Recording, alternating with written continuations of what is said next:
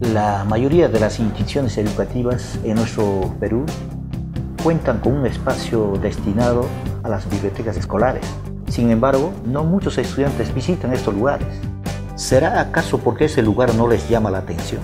¿Cómo saber todo lo que tiene la biblioteca del colegio para ellos si nadie se los ha dicho? ¿Cómo elegirán un texto si no saben de qué se trata? Esto debe cambiar. Hay un viejo refrán que dice, si Mahoma no va a la montaña, la montaña irá a Mahoma.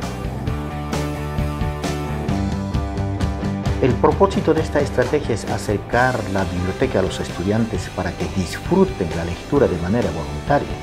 De esa manera los vamos involucrando cada vez más con la lectura. Cada institución educativa debe establecer sus propias rutas y horarios. Un buen momento puede ser la hora de recreo, antes del inicio de las clases o después de ellas. Ahora, si no hubiese suficientes textos, se establecen turnos de lectura. Todo se puede resolver.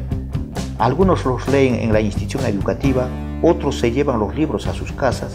Todo lo registramos y eso nos permite conocer la cantidad de libros que leen o el tipo de texto que les gustó. Pero lo más importante es que ellos van descubriéndolo también.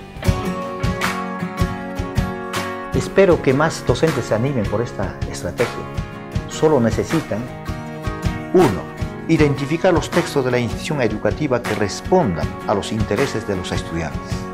2. Comunicar el propósito, normas de uso, horario y lugares que recorrerá el carrito lector. 3. Elaborar y colocar periódicamente en un lugar visible la lista de los textos seleccionados con sus respectivas reseñas. 4 Motivar a los estudiantes a leer las reseñas y a seleccionar los textos que leerán. 5. Colocar los textos seleccionados en el carrito lector y realizar el recorrido establecido. Y 6. Anotar los textos que van leyendo los estudiantes.